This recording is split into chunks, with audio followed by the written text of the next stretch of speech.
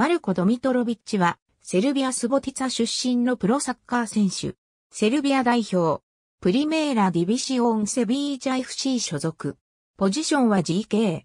レッドスター・ベオグラードの下部組織で育成されたが、トップチームでの出番はなかった。2013年9月3日、出場機会を求め、ハンガリーのウーイッペシュト FC に移籍。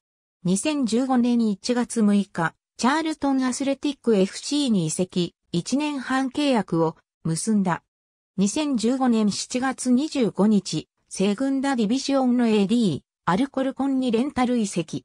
2016年7月7日、アルコルコンに完全移籍。2017年6月23日、SDA バルに移籍。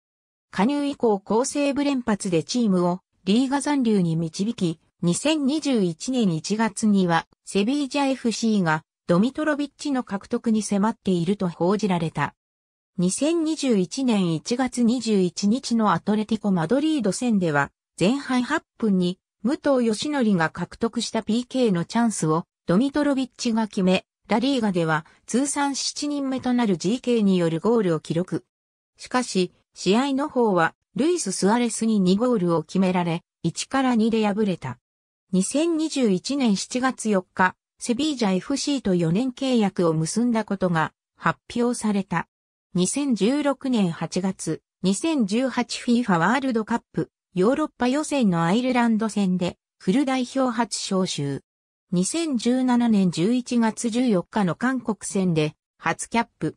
2018FIFA ワールドカップにも出場した。ありがとうございます。